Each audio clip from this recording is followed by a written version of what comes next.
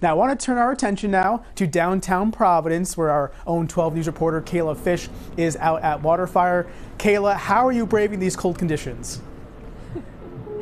Hey, Stephen. Well, you know, I love the cold, but uh, even I thought it was a bit chilly outside this weekend, especially compared to what we've experienced the last uh, several days. But rain or shine, Waterfire is back in downtown Providence. The full lighting, the first full lighting of the season underway behind me. And uh, it's just a spectacular event. There's nothing like it.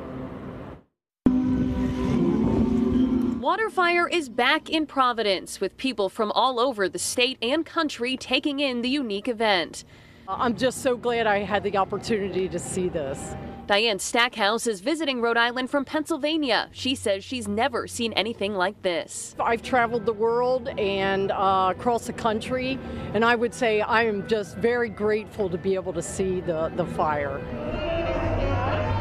you see all these families with young kids and they're listening to music, they're seeing the fires burning, they're smelling the smoke, and they're experiencing art and they don't even know it. This is the first full lighting of the 2023 season. Ed Cabral with Waterfire Providence tells me each year the event attracts about a million people to the state, bringing a nice boost to hotels, restaurants, and the local economy. Waterfire, you know, has about 150 million dollar uh, impact on the state of Rhode Island, you know, economically, and about um, you know 10 million dollars in tax revenue for the state.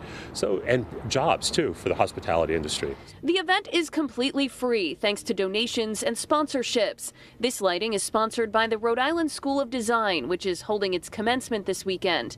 Cabral tells me they're so happy to be fully back in action, especially after some tough years during COVID. You know, we struggled during the pandemic. We didn't even think that we were going to make it through it, um, but we, luckily we were able to keep the team together.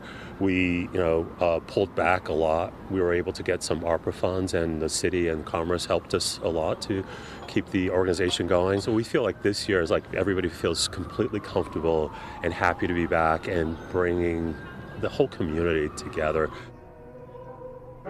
Now, these fires behind me here will burn until midnight. And again, this is the first full lighting of the season. It kicks off more than a dozen events planned for, through Waterfire for the rest of the year. We have a full schedule for you right now on our website, WPRI.com. Live in downtown Providence tonight, I'm Kayla Fish, 12 News.